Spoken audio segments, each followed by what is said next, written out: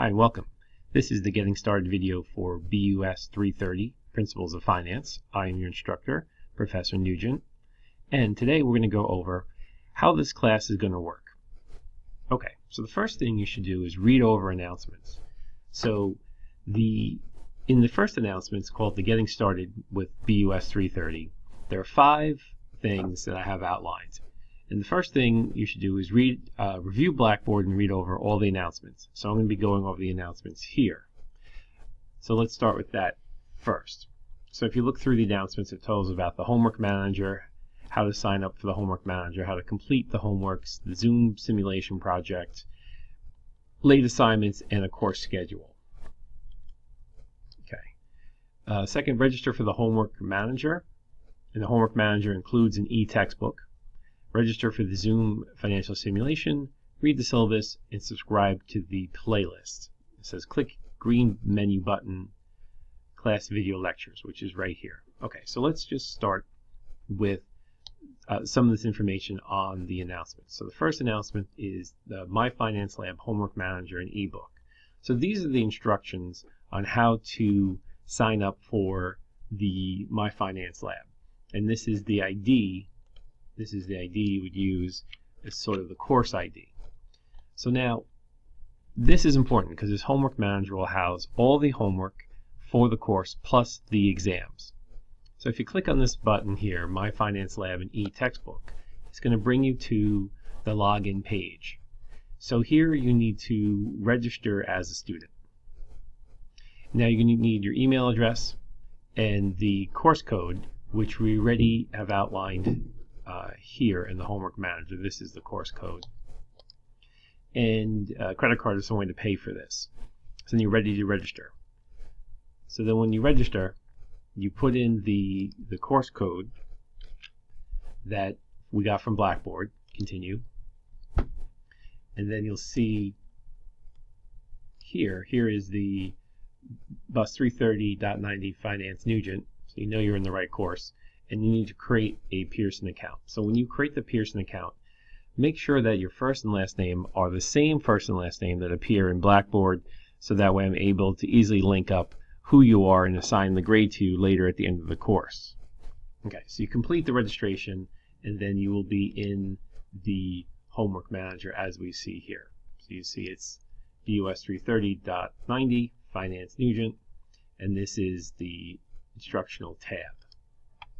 So more on that in a minute. So this would so this is the basic instructions of how to sign up for the homework manager, which comes with an e-textbook. Now, how to complete the assignments. So if we go back here, you'll see that there's a link called assignments. There's also a link for the Pearson e-text. This is where you have the, the e-textbook, and this is where you have the assignments. Generally, the, the most confusion comes with pop-ups. You should make sure that your browser allows for pop-up windows. Because that could block when you click on assignments, it usually uses a pop-up window. Now, so here we have do homework, take a test or a quiz. Now the test and quiz will, will only appear on the due date of the exam. So I'll go over that when the due dates are uh, later. But if we go to assignments, here are the homework assignments and the due dates. So the due dates are on the left-hand column, and the actual homework assignments are here. So when you go to complete a homework assignment, you click on the link, and then you click on the question. A pop-up box will open up, which will give you the question, and you need to input the answer using these rounding directions. So here, round to the nearest dollar. All right. So what's nice about it, if you put in an answer, you can check your answer and, oh, I got it wrong. So it says here, bid slash ask, ask price minus bid price. So it gives you kind of a hint. So if I look up here, bid price and ask price, so the difference here is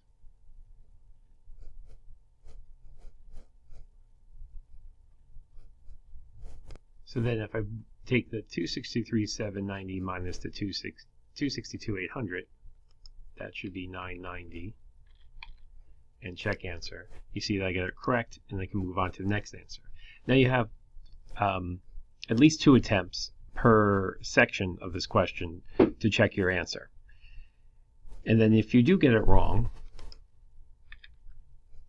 for example,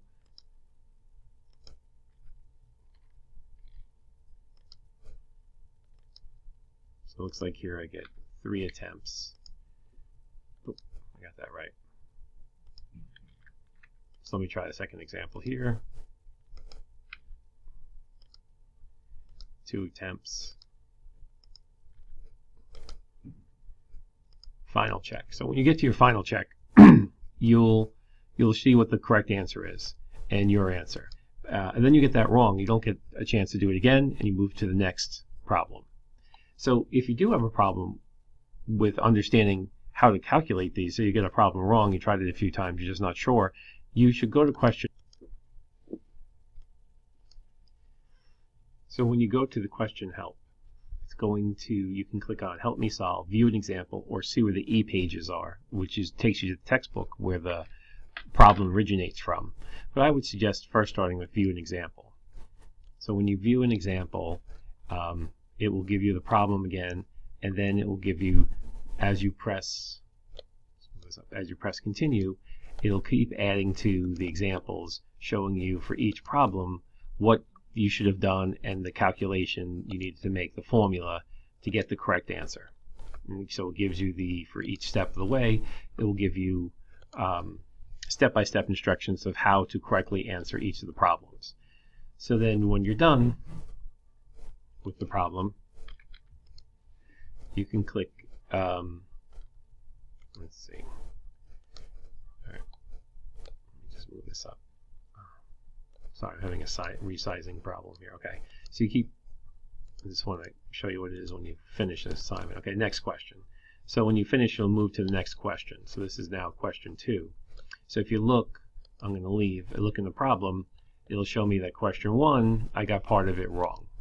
So you can you always go back in uh, and see what you got wrong for question one and then move into question two. And then you complete the process. Question two, you can switch to question three, question four, you can switch back. And for every question, they have this question help. That'll help you to answer the question if you're not sure. So for each each question, you get uh, multiple attempts to get it right. And then when you're done with the homework, you hit OK, and that would be homework two. You can always see your score. Now, there are special, um, these are just the normal homework, chapter homeworks where if you go into chapter 4, multiple questions are listed. You open up each problem box, and then these are all based on material you've done from the chapter. And each will have its own question help. Now, there is a special set of problems called Excel homework. So you have Excel homework 1, Excel homework 2, and Excel homework 3. These require additional additional video. They're a little bit more complex to solve.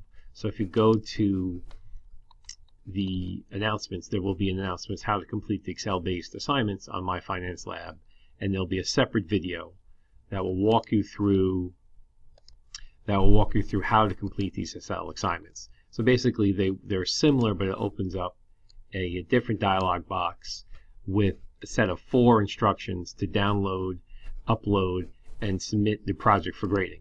So the video is important because I go over how to review uh, what you got wrong, how to correct it, and resubmit it. So I allow unlimited attempts on the Excel homework so you can work till perfection.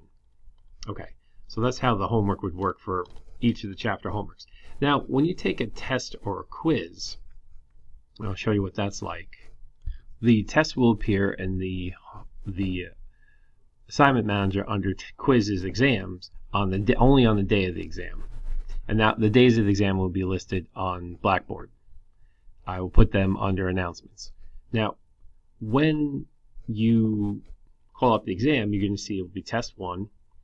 It will have a time limit. And when you're done taking the test, you click on submit test. So in the meantime, the tests will be, this is 24 questions. It'll be similar to the homework where it'll give you a question and then you'll, you'll have to input in the responses based on the information in the question.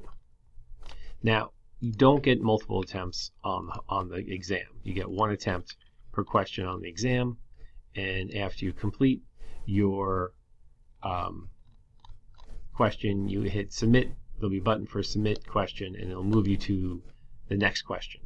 So it works very similar to the homework. The the exams will be just calculation based and multiple choice.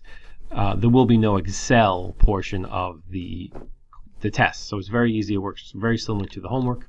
And then when you've finished answering all the questions, you commit you click submit exam or submit test, and then your test will be submitted. And again, the test will be submitted under take a quiz test on the day that the exam is available. Okay. So that's the basics of the homework manager. So you read over these instructions, you create your account for the homework manager, you um, can start the homework right away, watch this separate video to understand how to complete the Excel-based homeworks on My Finance Lab. They're a little bit more complex, and I made a whole separate video to help you understand how to complete these. Okay, so let's now move into the Zoom simulation project. So with this project, it's going to be 20 points of your grade, so 20% of your grade. And the first thing you should do is watch this uh, registering and getting started video with the simulation. Next, you are going to complete six rounds of the practice. So round one through six of the practice game you're going to complete. And that's going to be worth five points. You have to have a cumulative score over 1500 points. Again, watch the getting started video to better understand how to play and do the inputs and how the simulation works. All six rounds of practice will be due by September 29th. Then you move into the team competition.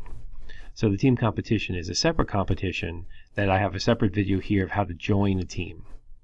And that's you watch to learn how to join, create your own team in the join, uh, create team button.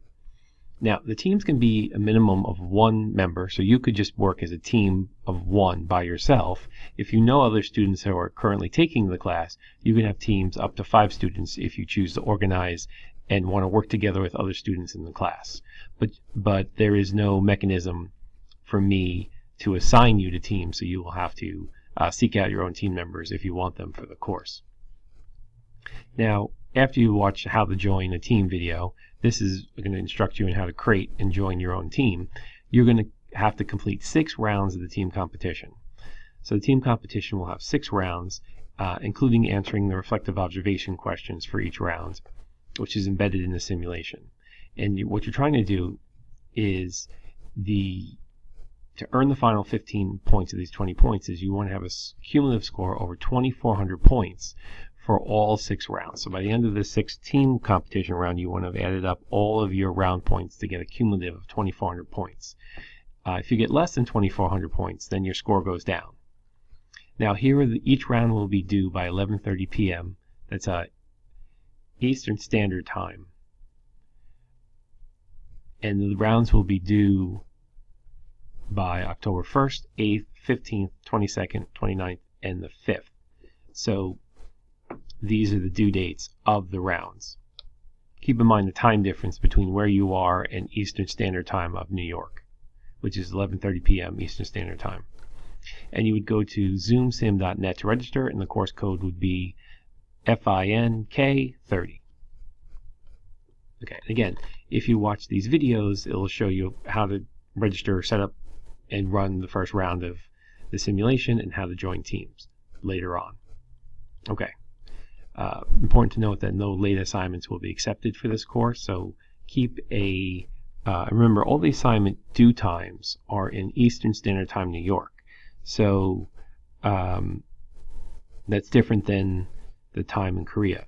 So just keep that in mind when you're submitting your assignments. Now, the course schedule, I have outlined the course schedule for each week, the chapters we'll be working on, and what we're going to be reviewing each week, including the exams. Okay, so that finishes up announcements. Uh, so two, register for the homework manager. We went over that. Three, register for the Zoom simulation. Uh, and Four, read the syllabus. And five, subscribe to the YouTube playlist. So let me go over these elements. So here you'll notice there's a green menu. This is where announcements, we're currently on announcements. Um, for the class lectures, you click on class video lectures, and this will pop up a playlist of all the lectures for the course that, that you're going to be working in. So they they're in order. So it's best to subscribe, so that way you have all the lectures for the course, and you also will get notified if any new lectures are created. Okay, this is the button for the My Finance Lab e-textbook that we reviewed before, where you click on that button, and it will pop up the um, homework manager where you can register and sign in after you're registered. So we've covered that before. Um, the PowerPoints, this is where the PowerPoints for the course are listed. So you click in here and these are all the PowerPoints the lectures are based on. Uh, the Zoom simulation, you click on that. It'll pop you over to the website for the Zoom simulation and this is where you're going to click register and you're going to click student and then you're going to register uh, as a student. Click You're Not a Robot. Register, then it'll instruct you on how to pay for the simulation. Okay. All right, so let's let's finally review the syllabus for the course. So if you click on the syllabus button, you see that this is uh, 330 Finance. It's 100% online. It's um, there's no live element or no classroom element. So it's 100% online, online. And here's my email address if you need to contact me with any questions. So it's asynchronous. So I'll provide videos, documents, lectures, tests, assignments, and simulations, and you work on it at whatever time of day is best for you. So I suggest you read over the syllabus in its entirety because it's going to instruct you in how the class is going to operate. Um, we'll talk about the class description, the overview, the course requirements. We already, we already reviewed how to get the homework manager and e-textbook and the simulation. It goes over the learning goals and outcomes of the class, the assessments of the learning goals, the course requirements, which is expecting you to do the reading and the homework of the class and uh, be knowledgeable of you know current financial topics. The grading, 20% of the grade or 20 points is the simulation. 80 points are going to be from the textbook.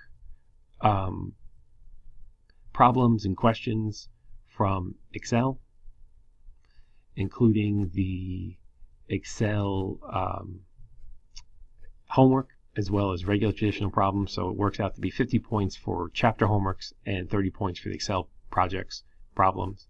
Uh, 50 points for test 1, 50 points for test 2, and that's how we get to a total of 200 points. And if you divide the points by 2, you can see how the, or if you look at your uh, weighted average percentage on the My Finance Lab, you'll be able to convert your percentage to a grade. Here's our course schedule for the, the next 15 weeks, where we have the uh, midterm and final. Uh, and I'll put an announcement on Blackboard on the actual dates of the midterm and final exam, and just followed up by your academic integrity and academic dishonesty policies. Okay, so that is the syllabus uh, in its entirety, so I suggest you read over that. And once you finish this video in its entirety, you'll be ready to start the course and start reading the textbook, watching the video lectures, and also completing the homeworks, starting the simulation. I'll send out uh, reminders every so often of uh, what you should be doing in the course. Uh, every couple of weeks, I'll send a reminder of your, your weekly responsibilities to help you and guide you through the completion of this course. Uh, I hope you found this video helpful and please contact me by email if you have any other questions or need any other help with completing this course. Thank you for your time, and I hope you do well.